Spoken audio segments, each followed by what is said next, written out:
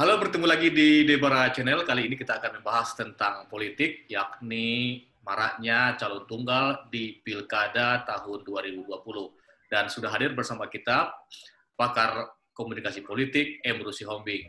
Halo Pak Emrus, apa kabar? Halo, selamat sore Bang. Selamat sore, Pak. Udah, udah lama nggak ketemu Pak ya, karena pandemi-pandemi ini. nah, Setelah terjadi COVID kita ya. jadi apa bersembunyi di rumah ini tanda kutip. Iya. Pak, hari ini saya baca komentar Bapak di media tentang calon tunggal Betul. di Pilkada 2020. Nah, kalau Bapak melihatnya sebagai apa nih Pak fenomena ini? Baik. Saya pikir ini suatu fenomena yang menurut saya menunjukkan bahwa uh, para partai uh, politik kita yang tidak punya uh, calon atau tidak mengusungkan calon berarti mereka gagal melahirkan suatu pemimpin. Uh, kenapa? Padahal tujuan daripada partai itu kan melahirkan pemimpin. Maka ada partai salah satu fungsi dan tugasnya. Nah, kalau partai mereka tidak mengusulkan calonnya, berarti proses politik di internal partai untuk melahirkan pemimpin di daerah yang bersangkutan, saya terus terang mengatakan gagal jadi bukan merupakan suatu apa, apa lagi uh, suatu suatu proses yang tidak berjalan dengan semestinya. Tapi saya sebut kata gagal. Kenapa? Kan partai lain telah mengusung mengusung calon tertentu, gitu ya. Ya. Dan seharusnya partai lain juga uh, mengusung calonnya juga. Supaya apa? Ada dua hal yang keuntungan dari sudut demokrasi. Pertama, bahwa rakyat itu ada pilihan alternatif daripada calon yang diusung oleh partai tertentu berhadapan dengan partai yang lain. Yang kedua adalah bahwa ketika nanti eh, para calon ini lebih dari dua, dua atau tiga atau berapapun, minimal dua, maka mereka akan saling um, mengadu apa gagasan, ide dan program. Tetapi ketika calon tunggal yang ada dengan siapa dia mengadu programnya? Artinya apa? Si calon tunggal merasa programnya sudah bagus, sudah oke. Okay. Kenapa? Karena berhadapan dengan kotak kosong. Kotak kosong kan tidak berpikir, ya. tidak uh, berbuat apa pun. Dia pasif, benda mati. Kemudian kita lihat adalah bahwa seharusnya para calon tunggal juga bertanggung jawab atas terjadinya uh, calon tunggal ini. Tidak hanya partai yang tidak punya calon yang bertanggung jawab, si calon tunggal juga harus bertanggung jawab. Artinya apa? Ketika kursi yang mengusung dia sudah cukup, harusnya di stop. Saya tidak perlu lagi didukung oleh partai lain. Supaya partai-partai lain membuat calonnya sendiri. Supaya nanti dinamika uh, diskusi di ruang publik tentang tawaran program dan gagasan lebih hidup. Dan kemudian itu menjadi koreksi bagi si kemungkinan si calon tunggal untuk memperbaiki program-program dan gagasannya. Jadi artinya yang mau saya katakan adalah uh, calon tunggal itu juga harus bertanggung jawab dengan cara apa? Bahwa stop dukungan ketika sudah memenuhi syarat. Sehingga dia bertarung pada sosoknya sendiri terhadap kawan bersaingnya. Dia bertarung pada gagasan dan idenya. Dan terus terang saya mengatakan ketika seorang calon tunggal maju nanti dalam pilkada, sama saja dia telah merendahkan dirinya sendiri bersaing. Masa dia bersaing dengan benda mati? Ya, ya kan tidak baik. Harusnya manusia dihadapkan dengan manusia yang sama-sama punya akal dan budi, punya gagasan, punya ide. Jadi si calon tunggal, kalau ada indikasi calon tunggal di beberapa daerah di Indonesia, karena belum diputuskan, si calon tunggal segeralah mengatakan bahwa saya tidak mau maju kalau dengan calon tunggal. Nah, dengan demikian, maka hiduplah demokrasi kita. Dengan demikian, tumbuhlah adu gagasan dan ide di ruang publik. Demikian sementara. Ini kan yang menjadi masalah adalah persyaratan yang yang cukup berat, Pak. Ya. Apakah perlu mungkin persyaratannya direvisi lagi? Saya kira saya setuju kalau persyaratan itu, tapi apakah dikatakan berat atau tidak sangat relatif. Bahkan saya berpendapat bahwa setiap partai politik boleh mengusung calonnya. Hmm. Silahkan saja. Hmm. Tetapi tentu ada juga koreksi. Di mana partai kita kan multi partai begitu banyak sekali. Ya. Begitu banyak uh, katakanlah kepentingan-kepentingan politik. Kalau misalnya partai kita 10 mengusung calon 10 kan merepotkan juga. Ya. Jadi yang mau saya katakan adalah introspeksi juga partai kita di Indonesia supaya jangan terlalu banyak. Demokrasi itu tidak dilihat dari jumlah partai. Yang penting lebih dari dua. Misalnya minimal tiga partai. Sudah cukup demokrasi. Lima misalnya. Jangan sampai di atas lima partai itu. Itu juga merepotkan masyarakat. Itu juga membuat dinamika demokrasi di Indonesia tidak jalan. Kenapa? Karena nanti ketika kepala daerah itu terpilih, berarti ada kalau ada 10 partai, berarti ada 10 intrik-intrik politik yang harus dikelola oleh si kepala daerah. Bukankah demikian kita di Indonesia sekarang? Siapa pun presiden kita di Indonesia adalah presiden yang luar biasa. Karena apa? Dia akan menghadapi intrik-intrik politik daripada 10 atau lebih uh, yang akan datang partai politik di dalam uh, Indonesia misalnya seperti itu. Maka selalu saya katakan di ruang publik, Presiden Indonesia jauh lebih hebat dari Presiden Amerika. Karena Presiden Amerika hanya memperhatikan satu intrik politik, yaitu oposisi. Kalau politik yang mendukung dia udah jelas, satu hmm. garis pada umumnya. Artinya di Amerika Serikat misalnya dua partai, Demokrat sama Republik. Yang dihadapi adalah intrik politik dari partai salah satu dari partai ini karena salah satu menjadi uh, partai penguasa. Hmm. Tetapi kalau kita 10 partai, calon itu adalah anggaplah dari dua partai. Satu dari yang mencalonkan presiden, satu yang mencalonkan wakil presiden misalnya. Katakanlah dua partai, katakanlah demikian seperti itu. Berarti ada delapan partai lain yang harus dikelola. Akibatnya apa? Koalisi banyak partai. Koalisi banyak partai apa? Ya menjadi kegemukan.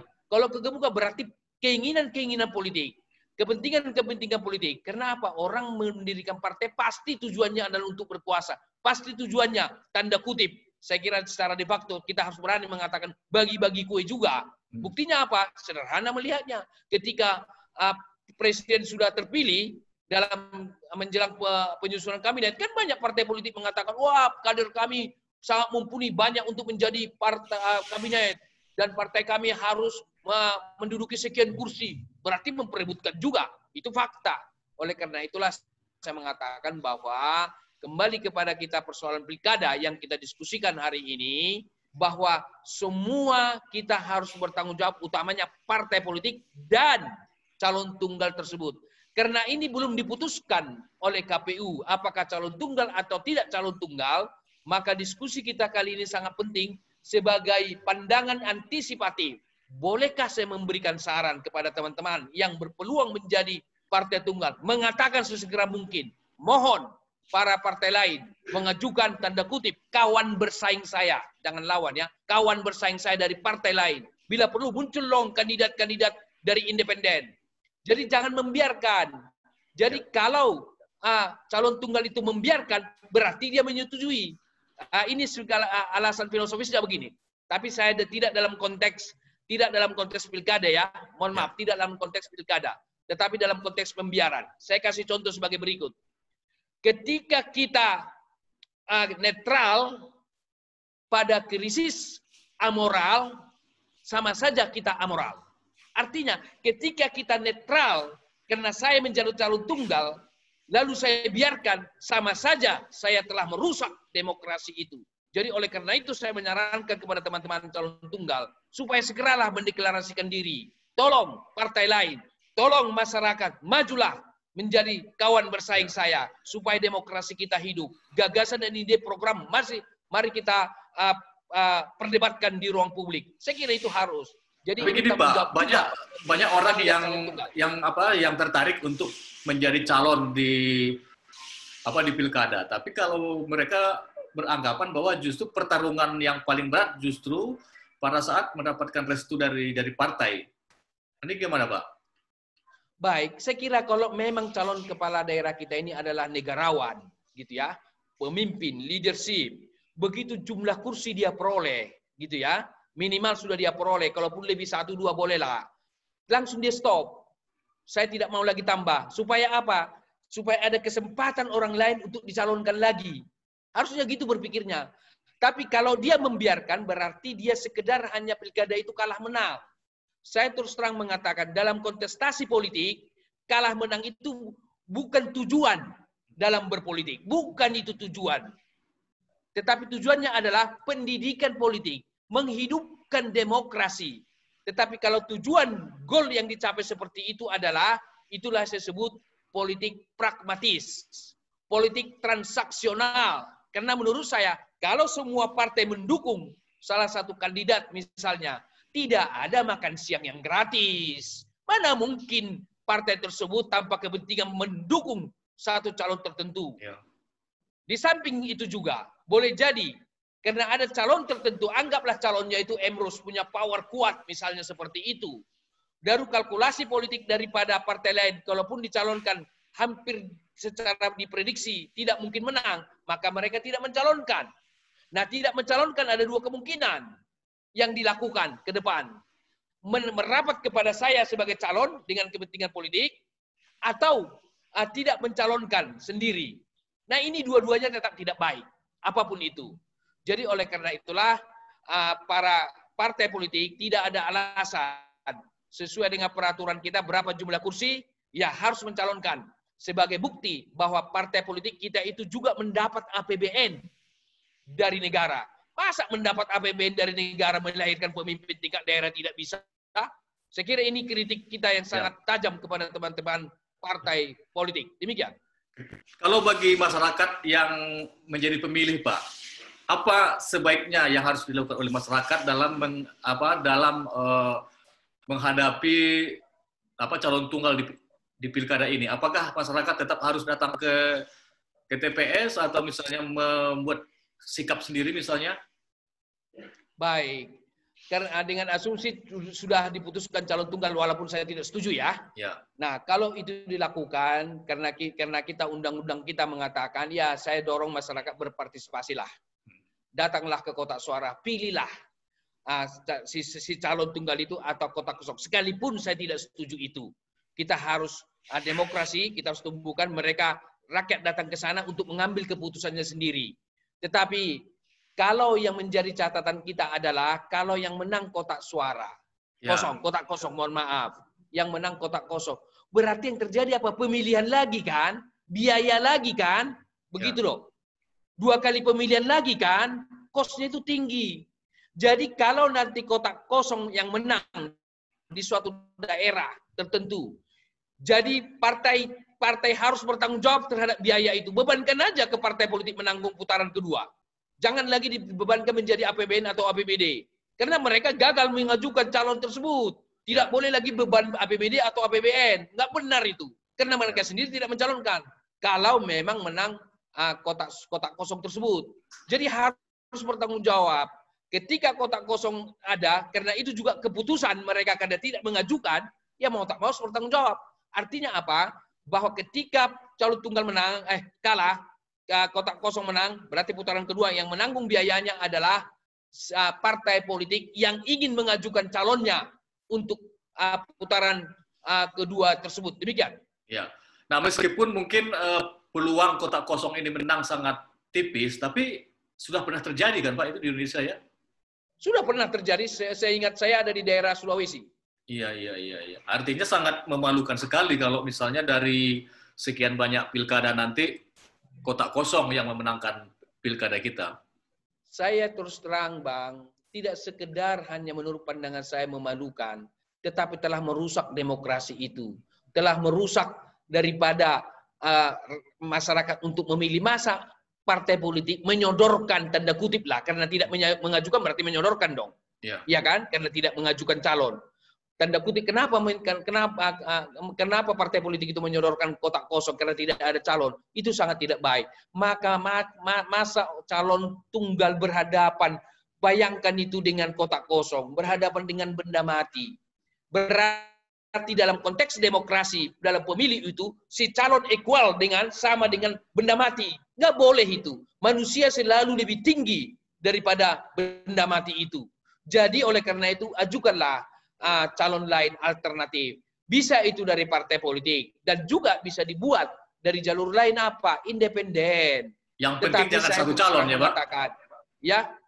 Yang penting jangan satu calon ya yang penting tidak satu calon. Tetapi ya. terus terang saya mengatakan ini suatu yang perlu saya sarankan kepada teman-teman media untuk melakukan investigative reporting. Kenapa muncul calon tunggal? Ya. Sementara calon tunggal itu diusung oleh partai. Ya. Kalau calon tunggal diusung oleh independen, Ya. boleh jadi itu kehendak rakyat. Ya. Tapi calon tunggal diusung oleh partai. Begitu ada apa di balik itu? Betul. Kenapa Karena- berkoalisi partai-partai tertentu uh, mengusung calon tunggal? Di situ ada komunikasi politik. Di komunikasi politik itu ada kos politik. Ya. Yang kalau itu yang terjadi, rakyat yang rugi. Gitu ya. Sebagai pemilik bangsa ini, sebagai pemilik partai, jangan salah abangku. Pemilik partai itu adalah rakyat Indonesia. ya. Tidak sekedar pengurus atau kader. Kenapa saya katakan rakyat Indonesia? Karena seluruh rakyat Indonesia berkontribusi kepada partai itu dalam bentuk apa? APBN, pajak. Yang kedua, rakyat itu nanti kan menentukan pilihannya menjadi pemimpin ketika dia terpilih dari partai A.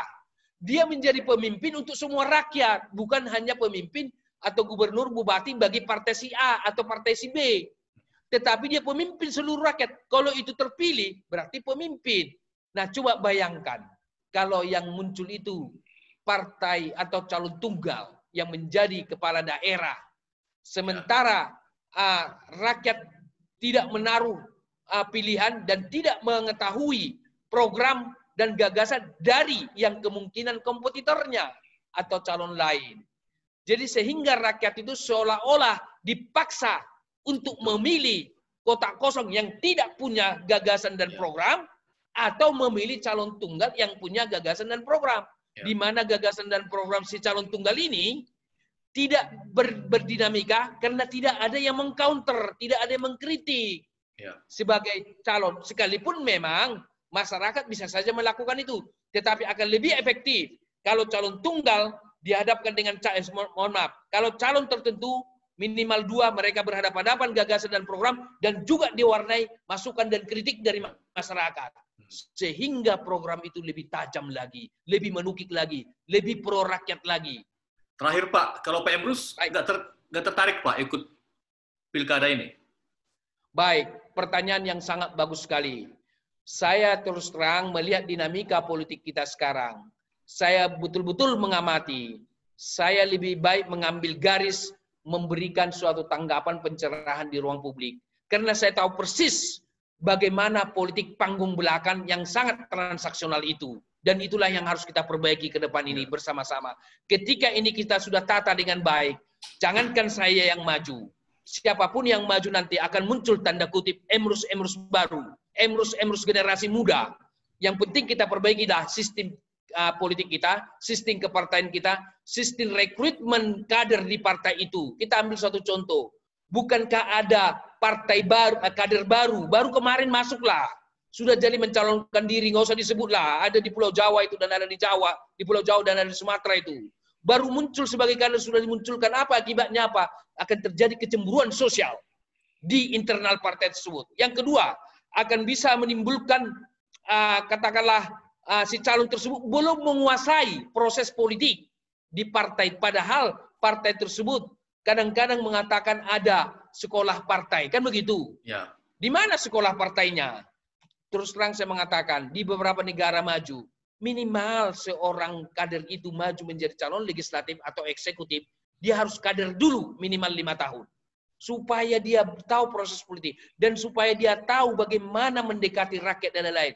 Jangan karena misalnya ya dukungan, karena logistik, karena terah, karena kekuasaan dia maju. Itu tidak boleh.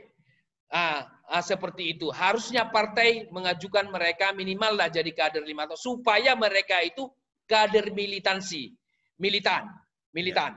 Bukan bukan militansi ya, kader militan. Nah, bukankah misalnya coba Anda lihat kenyataan di lapangan. Dia telah menjadi pernah kepala daerah. Begitu periode kedua tidak didukung oleh partai pengusung, dia pindah lagi ke partai lain. Iya, iya, iya. Pindah ke partai lain, dia menjadi calon dari situ. Yang menarik lagi, bahwa ketika tidak diusung oleh partainya di mana dia berada, pindah lagi ke partai lain. Iya. Ada itu di Sumatera. Iya. Jadi saya kira sangat, kenapa terjadi begitu? Karena kader itu tidak militan. Karena apa? Pendidikan ideologi, pendidikan politik di partai itu tidak jalan dengan baik. Oh, oh. Jadi ini konsekuensi. Jadi ini menjadi persoalan bangsa kita yang harus kita selesaikan bersama. Dimulai dari mana? Sederhana. mulailah dari partai itu sendiri. Caranya bagaimana? Munculkan di partai itu demokrasi substansial, jangan demokrasi uh, prosedural. Kalau prosedural, dia seolah-olah berdemokrasi padahal tidak. Kenapa? Ada tiga faktor yang merusak partai kita di Indonesia. Faktor pertama karena terah. Faktor kedua karena pendiri. Faktor ketiga karena uh, logistik. Ini terlalu berkuasa ini di partai. Sehingga terjadi apa di partai itu sentralistik. Ini harus kita bongkar supaya di, di, di partai itu juga demokratis, substansial. Supaya semua pemilik hak suara bisa menentukan pilihannya. Jadi tokoh-tokoh yang pendiri, tokoh-tokoh yang tokoh sentral di situ harusnya legowo, monggo. Dia lahirkan demokrasi di situ, siapa pun pemimpin, tetapi atas dasar demokrasi.